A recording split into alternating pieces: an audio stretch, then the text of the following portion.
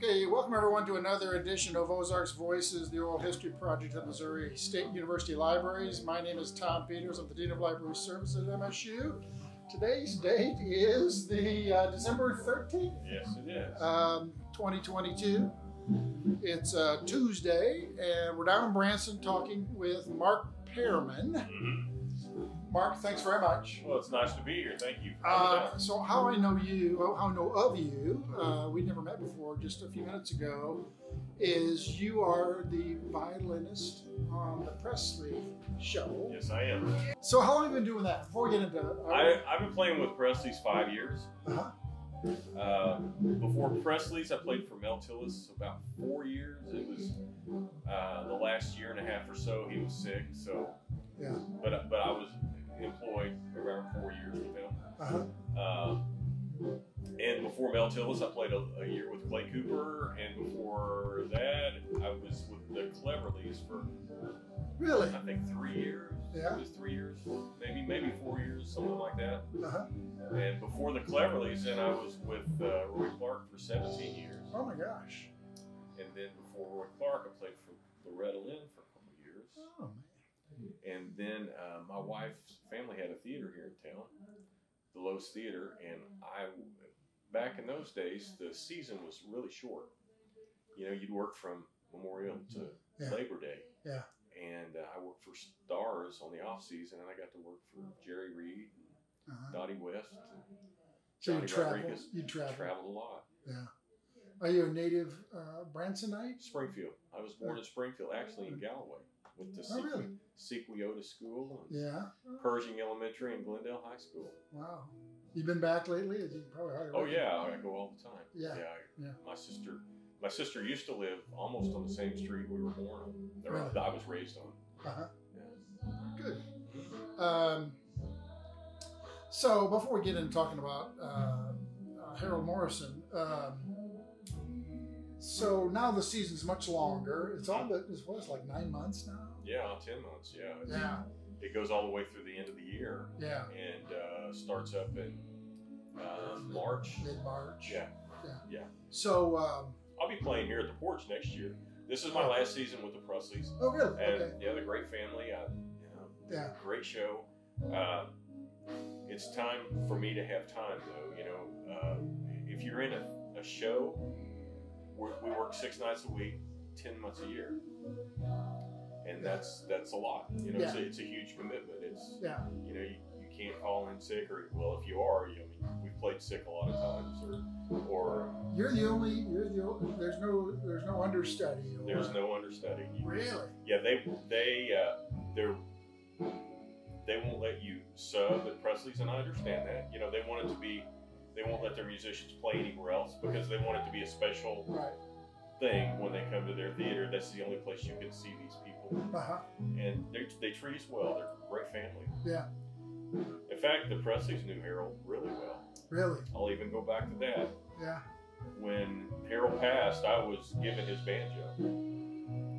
Yes, and Lloyd. You have Harold Well, Gary Presley. Okay. Gary Presley was a really close friend to Harold too, and Gary's kids, Gary Presley's kids, knew Harold. He used to run around with them a lot. Well, my kids had never met Harold, so I gave that banjo to Gary to give to one of his kids, so you know it would kind of stay. Yeah. You know, the, the meaning would stay there. Yeah. It would have some. The banjo would have some meaning. I still have Harold's dobro. Uh, in fact, funny story about that. Harold told me this story, and he was a character. But uh, So we're talking about Harold Harold, Morrison. I'm sorry, Harold Morrison. Uh, born 1931, died 1993, Yes. so he was only 62 when he died. yes. Uh, born in High Lonesome, Missouri, one of my favorite place names Yes. ever. Uh, yeah. I've actually been there. Just Yes. made a point of going there. Pretty cool. It's high and it's lonesome. Yeah, that's right. It really is.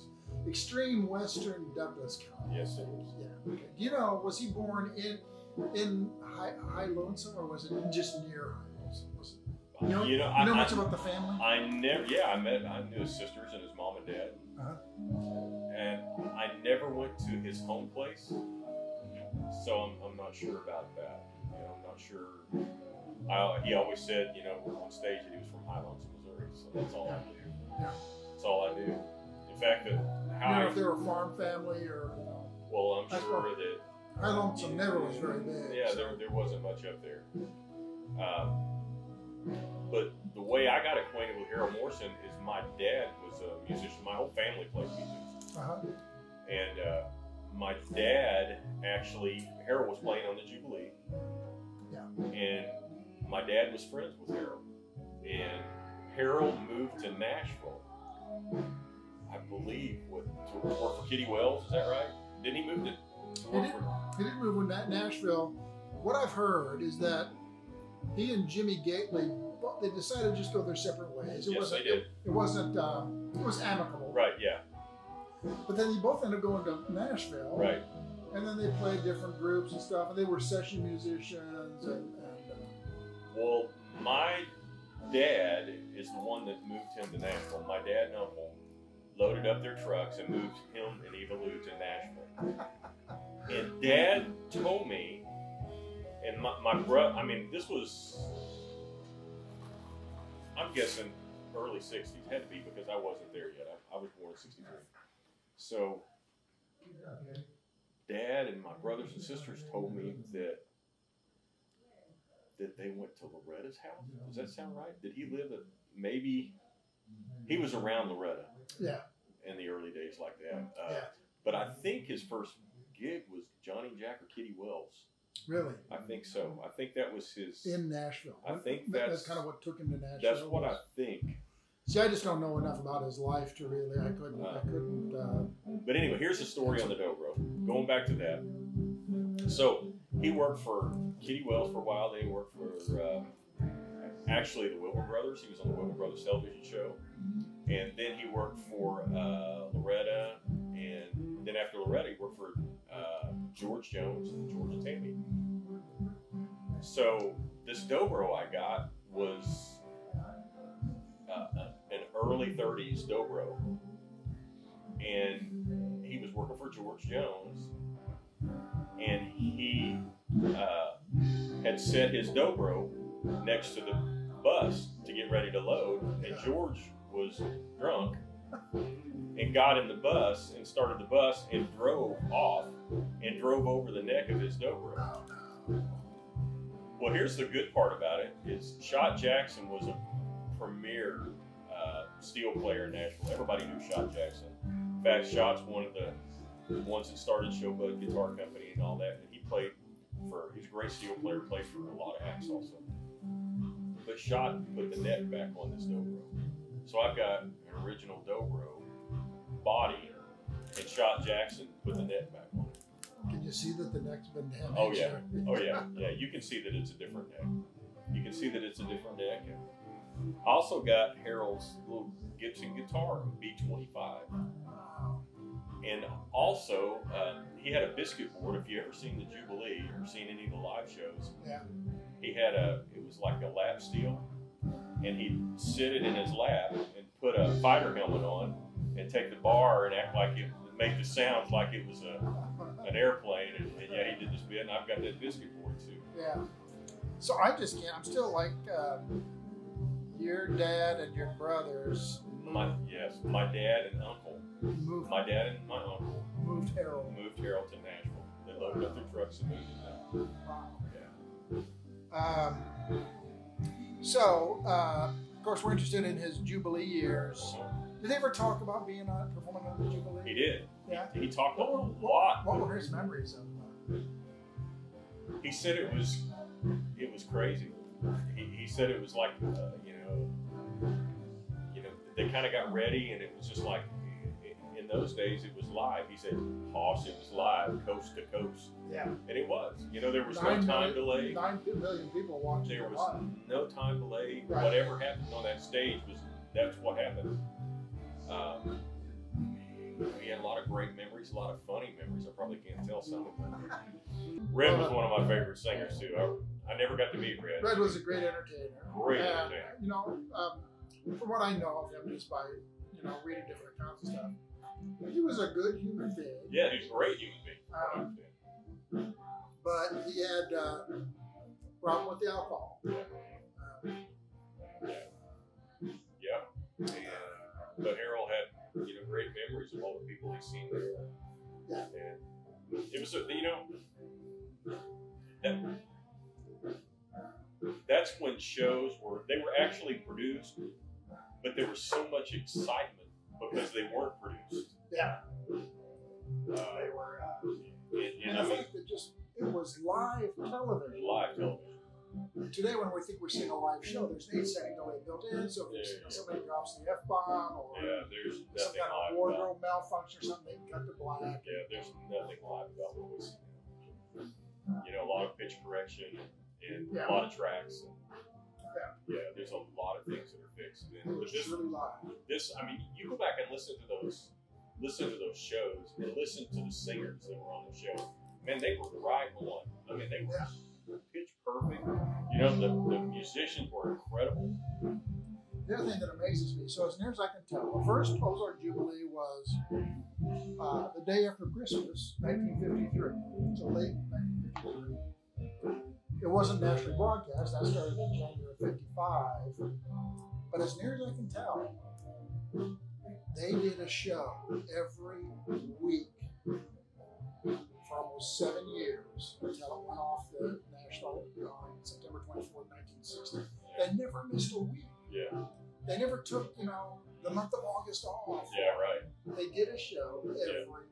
Well, and that's part of what Harold was saying. You know, Harold said they did the show, and he said they'd jump in the car and they try to run and do two or three days during the week. You know, and, and make it back. You know, make it back. So they couldn't go very far. So we've actually been. Um, there was no videotape back then. Yeah. But they made what they call kinescopes. You know, kinescopes. Yeah. Okay. So Wayne Glenn is a local historian. Yeah. You know Wayne. Yes, I do. yeah. Great guy. So Wayne, I've been down here 11 years, um, and Wayne set up a meeting with me soon after I got here. He said, I found some kinescopes of the Ozark Jubilee. We need to get those back here. They were at the UCLA Film and Television Art in uh, LA, Wow. and there was about 65 of them. So I called out there. They confirmed that they had some kinescopes of the Ozark Jubilee. I don't think they ever opened up the canisters. I don't know how they got them. But I said, Would you sell them to us? No. Where'd you get them? As a matter of policy, we don't tell you where we have obtained them. because They have a huge television mm-hmm. archive. And so we this so then anyway, anyway we got and we ended up digitizing and we paid UCLA Film Television. So, so we have about right now we have about seventy mm-hmm. and I've just got some more that are in the pipeline to be put up mm-hmm. online for free. So anyway, we have um, one of them we had. So the show was done in 30 minute segments. That's kind of the way they thought about producing it.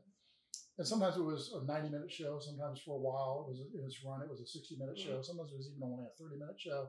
Some markets would only show, you know, half an, an hour of a 90 minute show or something. So we always kind of had a, a complete stop, you know. Mhm. And, uh, so anyway, I was um, uh, in 1955.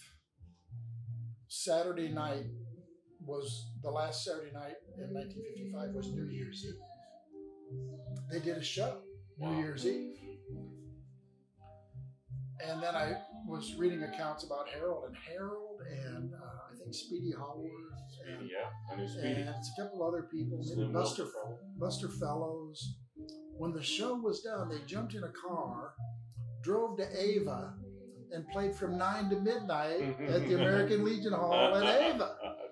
You know, so it's almost like the you know they were doing that a lot, and it was all about the you know you you didn't get paid much for appearing on the Jubilee, but you had nine million people watching, That's right. and so that would sort of fuel the personal appearance thing, and you know Red would go all over the country doing personal appearances, but somebody like Harold would just kind of be working the region. Yeah. So um, I was just like, wow, man, they jumped in a car and drove to Ava. That back when I'm sure the road to Ava was not too good back 1955. No, I've, I've driven Highway 60 to right. yeah Mansfield, and it was really curvy. Really? and- Yeah. Oh yeah. And uh, and they got there in time to play the nine to midnight gig.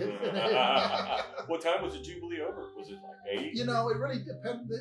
I'm guessing it maybe was like six thirty to eight Central Time.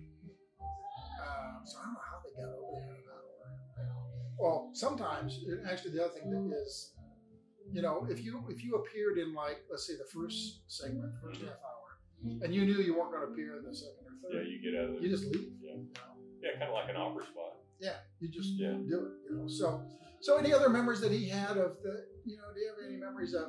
Well, what you know, what did he? What, did you ever see anything about Jimmy Gateley? Yeah, he talked about Jimmy. Um,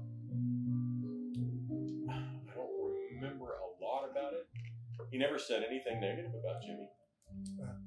Uh, so I, I just assumed they had a great relationship. You know, Jimmy had a did he have a Western store in Nashville?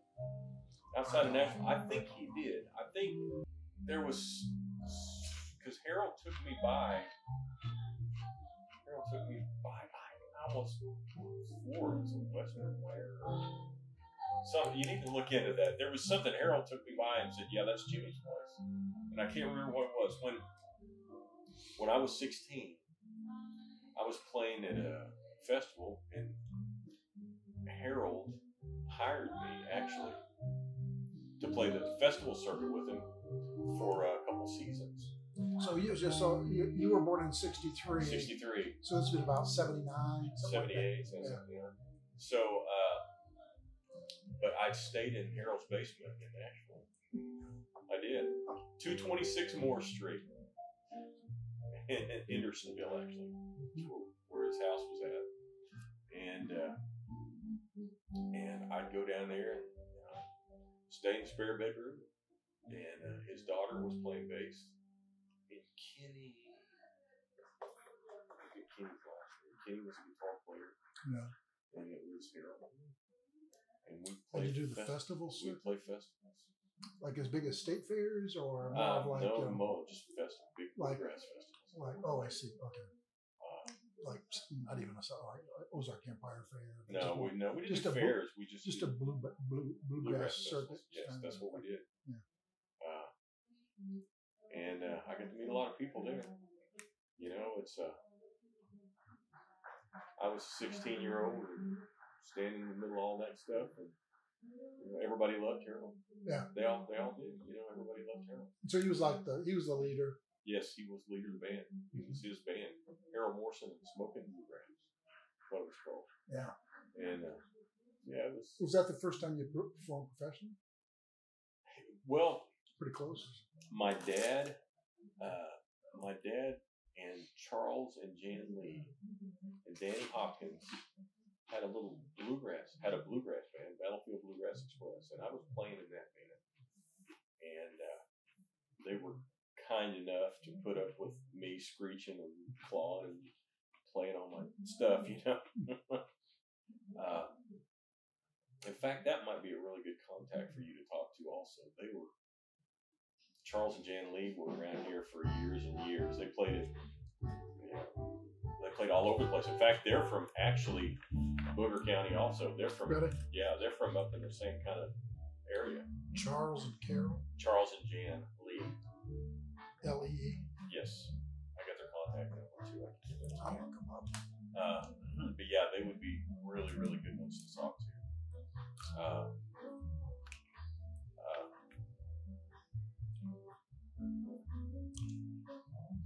Uh, did Harold? So you mentioned you, you mentioned that Harold had a lot of stories about Jubilee and Red Foley. Well, he, he just he just talked a lot about you know uh, all the stars that were coming through there. I mean, everyone was coming through there. You know, every everyone was there. Yeah. Uh, everybody that was somebody in the music business was coming there. He did he did say that that starting in like the last year or something, they started bringing in other types of acts. Yeah. and that's kind of why they started losing some of their sponsorship. It wasn't it wasn't what it was. I mean, people were watching the Jubilee to see, you know, the hillbilly kind of Yeah. thing, and, and they were trying to they were trying to barbershop, a lot of barbershop stuff. yeah they were trying to dress it up a little more, I think, and, and uh, You ever mention a group called Jubilaires? the Jubilaires. I don't remember that. Yeah, I don't. But it really wasn't. I wouldn't say it was country music. Yeah. I'm not late fifties.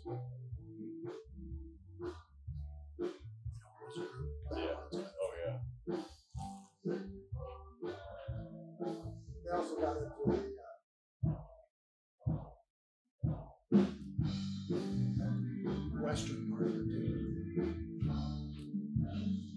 had one show in 1960. It was like Gene Autry was the guest host. Gene had a drinking problem too, commonly acknowledged. I don't know. He was not very. He was. I don't know. He wasn't very sharp that night. I don't know why, but um, and you could just see him read the cue card. You know? Very kind of a stilted delivery. And, you know, people don't understand, especially then. I'm sure people didn't understand all the consequences of being nationally recognized.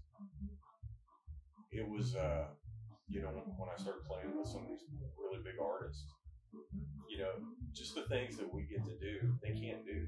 right. You know, they can't go to a restaurant. Right. They can't go to a movie. You know, I, me and Roy one night, Roy, Roy really like the cars and races, and we tried to go to a race, and you know, he covered up as good as he could, Right. and you know, we kept him away, and, and you know, all of a sudden, you know, people started recognizing him, and, we just barely got him. I mean, it just hundreds of people started circling him. You know, we just had to. and I looked at him, and, and he said, "When it starts, you can't stop." You know, he just wanted to see the race. He just he just wanted to be normal. Just want to go out somewhere and And- have breakfast. You know, you just can't do it. can't do it. You know, we when we checked in hotels, they took me through the the back entrance, or you know, and it just And they sort of had figured out, like, you know, have personal bodyguards and stuff. Right. And, you know, But that's what I'm going back to, like, you know, back to Red Foley, Williams, all those guys that, that got so popular, they didn't understand, or part of the reason probably, but they didn't understand the responsibilities of being nationally recognized. Yeah. And it becomes such a burden because actually it's like a jail. It's like a prison. Yeah. and to be doing a weekly show. So, uh, with the Grand Ole Opry, I think the sort of the basic, you know, if you join the Opry, you were expected to appear 26 Yeah, you had to, Saturday nights, basically once every two weeks. Yeah. You had to be on. Yeah. So if you like somebody like Foley, well, and you're not being paid great, you know, Yeah. you know, offering, you really became kind of a financial drag. Yeah. You can make more money if you got out of it. Yeah. you know that's that's the thing and that that's one of the reasons actually they've changed that philosophy i think you don't have to appear as many times because Really? that's that's why uh, roy clark didn't become a member until actually just before i was He didn't want that. he, he well i mean you know he was making Yeah. hundreds of thousands of dollars you know and Yeah. and then you go play an opry spot for 500 bucks So Ro- Roy was a good guy. Roy was a great guy. Yeah. Roy was an amazing, amazing guy. He, uh, Great you know, musician, Oh yeah, what a, but uh, he treated me so Nice well. guy, too. Nice guy. You know, we just we had a lot of fun. yeah. A lot of fun together. Yeah. Uh, so back to Harold. Sorry, Okay. to, you know, That's right. you, you had an amazing life, but uh, don't want to take up too much of your time. No, you're and, fine. and uh, so Harold was also a great tap dancer. Did you ever see him tap I dance? I seen him dance on stage because sometimes he'd end the song and he'd, then he'd dance. But I never seen him tap dance. yeah, I I seen got a couple know, of clips from the Jubilee where he launched into tap dance. I've seen him do that hillbilly clog thing a few times. Yeah, but I, I would say I I'm not a dancer, but uh, I never seen that. looked like tap dancing. to me, you know, So, uh, uh, you know, he just seemed to be, he seemed to enjoy entertainment. Oh, that's he. That was his life. Yeah. He he wasn't happy until he was on stage doing something. Yeah. That's when he was the happiest when he could stand up. In fact, I remember one one winter. Uh, in fact, one of the winters actually, me and him went to Florida for five or six weeks, and we we played you know, little operas and stuff. And it was me, me and him, and uh, I had a drum machine and uh, we we were in his motorhome. We called it Little Melvin, and and we stayed down there and played those. You know, there's some big campgrounds down there that Yeah. you know had little stages. Yeah. So it was it was pretty interesting. Pretty interesting. And then my wife's family had a show up here, and uh, I can't remember was it. Yeah, he played on. He played at Silver Dollar City here, but I can't remember. That might have been yeah. He played at Silver Dollar City here. I got I got him one at Silver Dollar City, and we did a year there. And then he played for my wife's family for a year at the Lowe's Theater Hmm. in Branson. And then I think he played. Did he play for the Plum? I think he did. I don't know, but I know he did. He sort of finished his career in Branson. Yeah. Late '80s, I'm thinking. Yes, he was. Then he died in '93. Yeah. I got to see him in the hospital before he died. Really? Yeah. How was he? Uh, how was he feeling? Was he good spirits? Not too good. He was out. He was. He was out of it. One at 62. Yeah. Was it like a stroke? I think it was some kind of stroke or something. Yeah, I think it was actually, the reports I've seen is he actually had a heart. It was a heart attack that killed him, but he had multiple Yeah. He, he was, when I was there, he, he, he just looked up and you know, just, It wasn't, it wasn't quite all there. know, Um, uh, so you, you, you knew his wife too. Eva Lou, huh? What was she like? She was funny. She was funny and, and she was very supportive always. You know, when we were around. Always, always tried to help. I forget year they got married, but they wanted to get married June 1st. You ever hear the story? We got bit by copperheads. Yeah. So they had to delay the uh, marriage till July 3rd. There you go, yeah. over- Yeah, I'd heard that story. Yeah, I'd heard that. How many kids did they have? They had three, three daughters. Three daughters. Okay. Georgia, Gina, and uh, Carla. They still living? You know? As far as I know. Does he make a connection with them? Does they live in Nashville? Or, uh, you know. Georgia was I can't remember. I think she I can't remember where she lived. She she lived away over somewhere. But Carla, the last time I seen her was outside of Nashville, and Gina lived outside of Nashville. Are they musicians at all? Well, Carla was. Carla was in the band actually when I was there. She was a bass player. The Little Bluegrass Bar, Darling is what they called her. Well, any other memories you want to share with um, our just- listening audience? I've got a ton of memory, Daryl.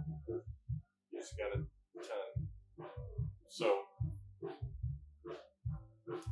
Grandpa Jones and Roy were at Silver Dollar City, and I was in the band at Silver Dollar City too. Darky Phillips, Greg Moody, and, and Harold. And Harold was tight.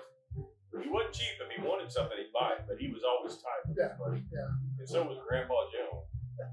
So they found this guy that uh, would give them strawberries and ice cream on the park. So in between sets, they went down and ate strawberries and ice cream for several bowls. And Harold was lactose intolerant. So we started playing the next set.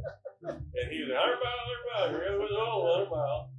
And he got sick to stomach and started throwing up on stage with strawberries and ice cream. And me and Greg Moody and Art were laughing so hard we couldn't even play. It looked like from the Red Sea it parted out there. oh, I love it. So he just loved, you know, strawberries and ice cream, but he knew it. Oh, he knew he was lactose Oh, intolerant. he couldn't do it. He just He didn't just, care. he just, he was funny. In fact, uh, they had Kitty Wells as a special guest uh, at the amphitheater at Silver Dollar City while Really? Harold was there. And me and Harold actually got to play the show. It was fun. Yeah. Harold once played the the, the uh, Jubilee Promenaders, the Mhm. Square Dance Troupe. Yep. So you know they turned professional. They came out of uh, not MSU, but SMS. You know. They turned professional, and then they got a week gig down at uh, the Blue Room at the Hotel Roosevelt in New Orleans, Oh, wow. and Harold played for him. I didn't know that. So he never mentioned it. No, he didn't talk about that. That not that I remember. that must have been fun. Oh, it had to be. Yeah. Had uh, music was different then. You know, I mean, it's it's very exciting now to play the big shows, but but it was it was in your face kind of then. I mean, you know, there was no fixing anything. I mean, this this is what it is, and this is how it is. Yeah. And it's, it's And it's all you know, it's all live, and it's Yes. like you just you know, Yep. deal with whatever comes at you. That's what you got to do. Yeah. Any other memories of Harold that you want to share? Uh, um, we can always follow up. If We, you- I would love to. you got my contact That'd be great. information. I would love So, to follow up. so really, you know, um, uh, you know, I just got interested in the Jubilee as uh, this amazing thing that came out of the Ozarks. Yes, it is. Um, and the fact that Si Siman and Ralph Foster and they just they could first of all ABC couldn't rub two vehicles together. Right. They were just on the ropes Right. financially, had nothing to lose. So when And this bailed them out. They, when they approached him, it must have been like, well, we got nothing. Let's try it, you know. And um, it was almost kind of like a surprise hit. I was. you know. And uh, That's always the best one. So I know. And um, so just the fact that they did that and sustained it for so long, I don't think they ever had more than like a, uh, you know, the minimal, whatever it is, 16 week contracts. I mean, it was like, there was never, Yeah. they never signed them on for two years. It was always like, you know, and when you think, well, they just went along till September of 1960 and then they pulled the plug. No, they were, there were press reports that there's, oh, those Jubilee going to go off the air in 1958. You Yeah. know, and it's just like they were always fighting to it Yeah. on the air. Always had a good television audience. It was very diverse. Um, and the cost of doing the show was much, it was the cost to benefit ratio on doing that show was just yeah, cheap and inexpensive to produce and had a really good demographic. Um, just a you know pretty early days of television. Yeah. Television kind of came on quite itself in uh, kind of 48, 49, especially in like New York and LA. Yeah. And uh, so it'd been around for about roughly 10 years. But I still say, it was the early years of television.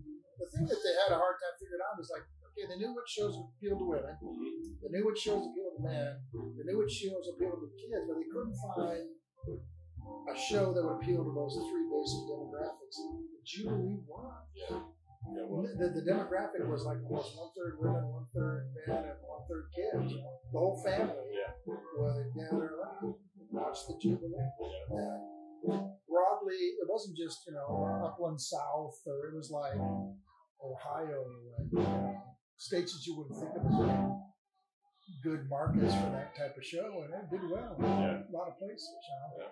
And as Scotty Siman says, uh, Si's son, the Jubilee brought country music into the growing suburban homes, it did. you know, the neighborhoods.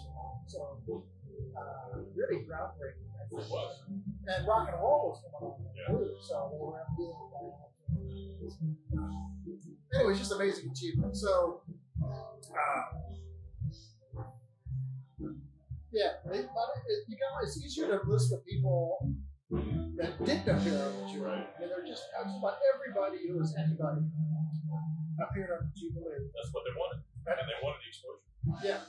Um, but there were a lot of Ozarkers like Harold Morrison and right. Slim Wilson and Speedy Haworth and Zed Tennis. You ever hear of Zed? Mhm. Uh, what, what do you make of Zed's? Uh, you ever seen his fiddling? Or, uh, Yeah, I don't, I don't know. I don't know anything about him. I've heard him talk about, but I don't know anything about him. Um, I'll send you some links. I'd love that. You know, just watch Zed. Uh, I love that. um, I think he was. You know, I'm not. I, I do not come from, from a musical family, and, uh, but I love his good. Uh, Wow, I'd like to hear some of it. Yeah, I'll show it. I'll send you some. Be great. So I sure appreciate this. Well, I appreciate and, you. Let me know what you. and it's a treat to Yeah, get a hold of Charlie and Jan. yeah That'd be great. to actually meet someone who played with and lived in his basement for a while. I did. Harold Morris. Well, you know, a couple months at a time. yeah, You know, for a couple summers I did that. Yeah. Cool. Yeah, it was fun. Yeah. I was a kid, got to walk on the stage. First time I ever played the Ernest Tubb Record Shop was actually with Harold, and actually my dad and my brother got to play with me. Yeah. On the record shop. Uh, got to walk on stage at the Opry. I never played the Opry with Harold, Uh-huh. but I got to stand in the circle. really. Yeah, and but I Was mean, that- of course, after that I played a lot. Was that the after they? Uh, was that after they It's a new Opry House. They moved after that. Round But I've got to play the Ryman. I've got to play. Yeah. Yeah, I get to play a lot at the Opry. Great. For that. Great. Um, okay, and I should have mentioned at the top, but we are at the Branson, Branson Craft, Craft Mall, Pigeon Craft Forge Mall. Grill. uh, which you own, started. Yes. Yeah, you're the founder and Well, my wife and I, my, my Yeah. kids work, or my daughter and son-in-law work here, uh, and uh, my son's a firefighter in Springfield. oh, really? Um, and you have live music here. Yes. You, folks are, heard some of that mm-hmm. music. Tuesday, So, Thursday, Saturday night, five to six thirty. all right. And you're getting going to go do the Presley show. Yep, here. getting ready to go right now. All right. Thanks very Thank much. you. Thank you very much.